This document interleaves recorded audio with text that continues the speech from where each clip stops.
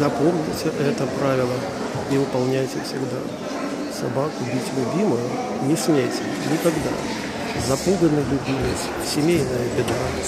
Другом и напарником не будет никогда. Поэтому дилемму бить или не бить при мудром воспитании придется вам забыть.